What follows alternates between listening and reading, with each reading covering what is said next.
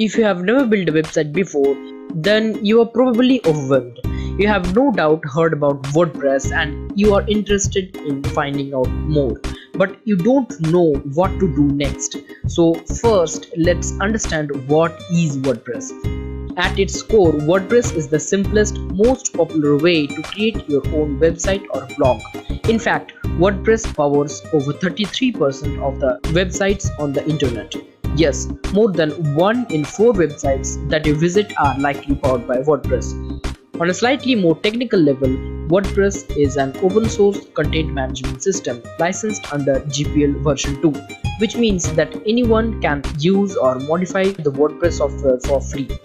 A content management system is basically a tool that makes it easy to manage important aspects of your websites without needing to know anything about programming. The end result is that WordPress makes building a website accessible to anyone, even people who aren't developers. You might be thinking that what kind of websites we can make with it. Really good websites like TechCrunch, Microsoft, GitHub, or really crappy ones.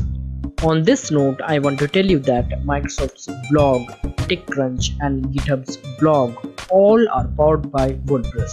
WordPress is completely customizable and can be used for anything. Most of the people looking to build a website are often enticed with tags free and unlimited. While you can download and install WordPress for free, you have to look beyond what is not told. Of course, there are no hidden costs, but if you value time, that is the ultimate hidden cost. Because most of the hosting providers charge you money for hosting your websites on their servers.